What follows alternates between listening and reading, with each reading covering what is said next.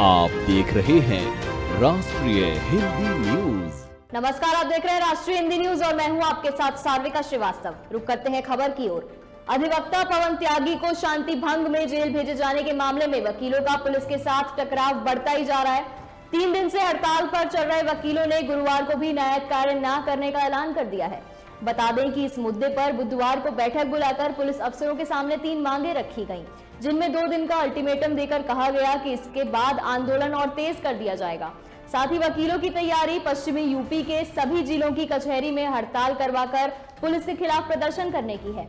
वहीं दूसरी ओर उधर पुलिस अफसर उनकी मांगे मानने के लिए तैयार नहीं है। ऐसे में वकीलों का कहना है कि जब तक हमारी मांगे नहीं मानी जाएँगी हम दूसरे जिलों की बार एसोसिएशन से भी बात करके हड़ताल जारी रखेंगे। देश और दुनिया की तमाम खबरों के लिए देखते रहिए राष्ट्रीय हिंदी न्यूज़। जय हिंद।